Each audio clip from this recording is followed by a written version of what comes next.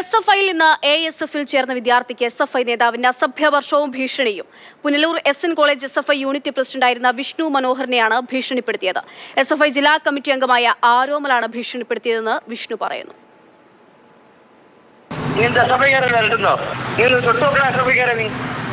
ഓ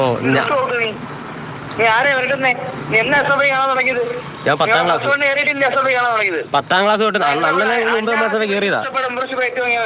ഓ. ഇവിടെ ആരും വരട്ടൊന്നുമല്ല ഞാൻ എനിക്ക് സ്വാതന്ത്ര്യം ഇല്ലാത്ത സംഘടന എനിക്ക് വേണ്ട. അണ്ണ അണ്ണ.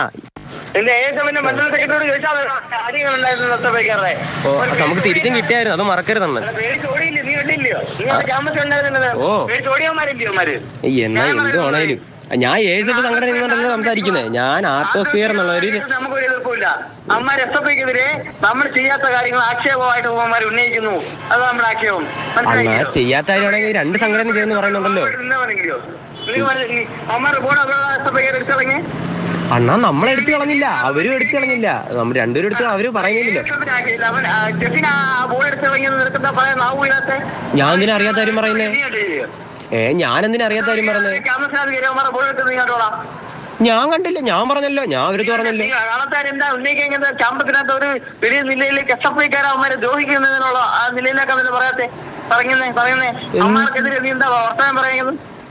എന്തിന്? എനിക്കറിയാത്ത കാര്യം എന്തിനാണോ പറയുന്നത് എന്തിനാണോ നീ ആരാ നീ? നിന്നെ യൂണിറ്റ് പ്രസന്ന അന്ന് അമ്മ അന്നേ എന്നോട് പറഞ്ഞ വിഷ്ണു ആക്കുന്നത് വലിയ ദോഷം ചെയ്യുന്നത്. അതെല്ലാം തരണം ചെയ്ത് നിന്നെ ഭാരവാഹിയാക്കി നീ നമ്മുടെ കൂടെ നിൽക്കുമെന്ന് പറഞ്ഞ നിന്നപ്പോ നമുക്ക് ഇതിന്റെ വർത്തമാനം പറയാൻ തോന്നുന്നു.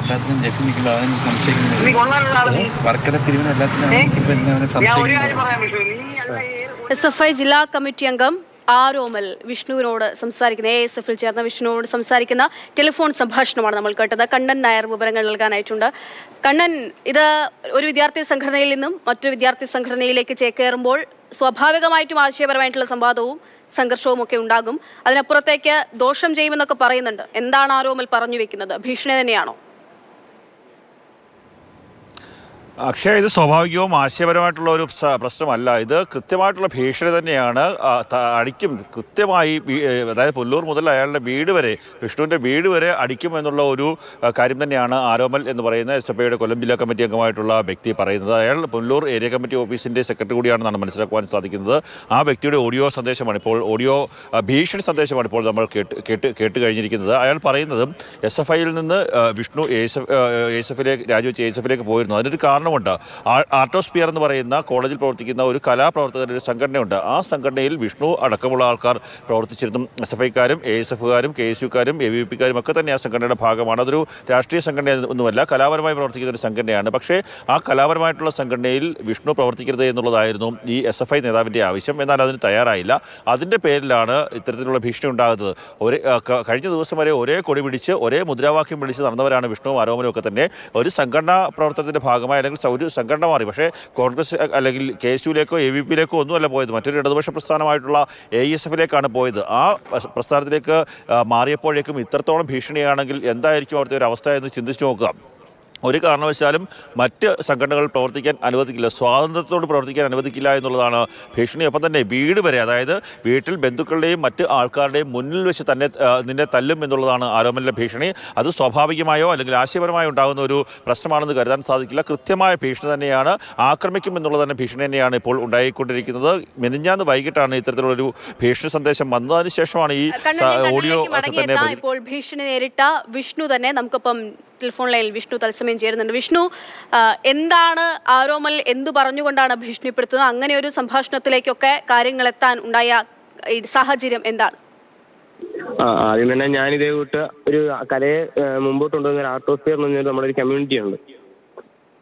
അപ്പൊ ആ കമ്മ്യൂണിറ്റി ഞാൻ പ്രവർത്തിക്കുന്നത് ഇവർക്ക് എന്താണെന്നറിയത്തില്ല. സ്വാഭാവികമായിട്ട് എസ് എഫ് എന്ന സംഘടന ഈ എസ് എം കോളേജിൽ പരിപാടികളും അങ്ങനത്തെ കാര്യങ്ങളൊന്നും നടത്താത്തത് കൊണ്ട് ഞങ്ങൾ നടത്തുമ്പം വിദ്യാർത്ഥികൾ ഇതിലോട്ട് വരുന്നു. പക്ഷേ ഇതൊരു രാഷ്ട്രീയ സംഘടനയല്ല. ഒരു കലാകാരന്മാരെ മുമ്പോട്ട് വരുന്ന ഒരു സംഘടനയാണ്. അപ്പൊ ഇതിനെ ഞാൻ പ്രവർത്തിക്കുന്നത് എനിക്കൊരു സ്വാതന്ത്ര്യം ഇല്ല അതിനകത്ത് വോയിസ് റെക്കോർഡിനകത്തുണ്ട് ഞാൻ തരുന്ന സ്വാതന്ത്ര്യം നിനക്ക് മതി. ഇപ്പൊ ഒരു അടിമയുടെ കൂട്ട് ജനാധിപത്യ സോഷ്യലിസം എന്നൊക്കെ പറഞ്ഞിട്ട് നമുക്കൊരു സ്വാതന്ത്ര്യമോ ഒന്നുമില്ല. ഞാൻ സ്വാതന്ത്ര്യം എന്ത് ചെയ്യണമെന്ന് അവർ തീരുമാനിക്കണമെന്ന് ഞാൻ ആരും അടിമയല്ല ആരുടെയും. ഒരു സംഘടനയിലോട്ട് മാറാനാണേലും ഒരു സംഘടനയിൽ പ്രവർത്തിക്കാനാണെങ്കിലും എന്താണ് എനിക്കൊരു അവകാശമുണ്ട്.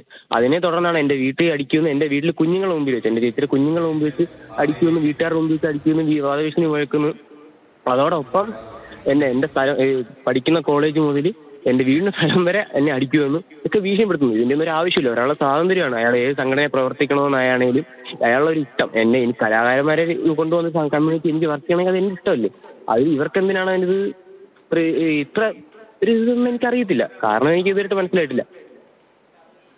വിഷ്ണു സ്വാതന്ത്ര്യം ജനാധിപത്യം സോഷ്യലിസം എന്ന മുദ്രാവാക്യം ഉയർത്തുന്ന സംഘടനയാണ് എപ്പോഴും സ്വാതന്ത്ര്യത്തെപ്പറ്റി നിരന്തരം പറയുന്നതാണ്. ഇപ്പോൾ കഴിഞ്ഞ ദിവസം തന്നെ എസ് എഫ് ഐക്കെതിരെ ഇത്തരത്തിലുള്ള പലതരത്തിലുള്ള ആരോപണങ്ങൾ ഉണ്ടാകുന്ന സമയത്തും അതൊന്നും ഒന്നുമല്ലെന്നുള്ളതാണ് എസ് എഫ് ഐ സംസ്ഥാന സെക്രട്ടറി പറയുന്നത്. വെറും ആരോപണങ്ങൾ മാത്രമാണ് എന്നുള്ളതാണ് പറയുന്നത്. വിഷ്ണു പഠിച്ച കോളേജിൽ അല്ലെങ്കിൽ പഠിക്കുന്ന കോളേജിൽ ഇത് വിഷ്ണുവിന്റെ മാത്രം പ്രശ്നമാണോ? അതോ എല്ലാവരുടെയും സ്വാതന്ത്ര്യത്തിന് മേൽ ഇങ്ങനെയുള്ള കടന്നുകയറ്റമുണ്ടോ എസ് എഫ് ഐയുടെ ഭാഗത്ത് നിന്ന് അതിപ്പോ അത് നമുക്ക് അവരുടെ കാര്യങ്ങളല്ല. പക്ഷേ ഈ അറിഞ്ഞ പിന്നെ ഇവരെല്ലാരും ചോദിക്കുന്നത് ഒന്നേ ഉള്ളൂ. ഈ എസ് എഫ് ഐക്കാർക്കിന്റെ ആവശ്യം എന്താണ്? ഒരാളെ സ്വാതന്ത്ര്യം അല്ലേ ആർട്ടിസ്റ്റ് ഒരു സംഘടനയിൽ ചേരണോ? അതായത് ഒരു കമ്മ്യൂണിറ്റി അവരുമായിട്ട് കൂടി നിൽക്കണോ? എന്നൊരു വ്യക്തി അവരുടെ തീരുമാനമാണ്. കാരണം സ്വാതന്ത്ര്യം ഇല്ലാത്ത പക്ഷെ ഇങ്ങനെ ഒരു സംഘടന എന്തിനാണെന്നാണ് കോളേജിലെ പൊതുവായ ഒരു ചർച്ചയായിട്ട് നിൽക്കുന്നത്. അതിന് എസ് എഫ് ഐ ചെയ്തിട്ട് പ്രതികരിച്ചിട്ടും ഇല്ല ഒന്നും ചെയ്തിട്ടില്ല. ഒരു കാര്യം കൂടി ചോദിക്കട്ടെ. ഇങ്ങനെ ഒരു ഭീഷണിപ്പെടുത്തുന്ന തരത്തിലേക്കൊക്കെ വിഷ്ണുവോട് സംസാരിക്കുമ്പോൾ വിഷ്ണു ഇതിൽ പരാതി നൽകാനോ അത്തരത്തിലൊരു നീക്കം നടത്താനോ തീരുമാനിച്ചിട്ടുണ്ടോ? പരാതി നൽകണോ വേണ്ടയോ അത് ഞാൻ മുതിർന്ന നേതാക്കളും അവരുമായിട്ട് കൂടി ആലോചിച്ച് നമുക്കൊരു തീരുമാനം എടുക്കാനുണ്ട്. സ്വന്തമായിട്ട് രീതിയിൽ തീരുമാനം എടുക്കേണ്ട ഇപ്പൊ ആവശ്യം വന്നില്ലെന്ന് എനിക്ക് തോന്നുന്നു. ശരി വിഷ്ണു.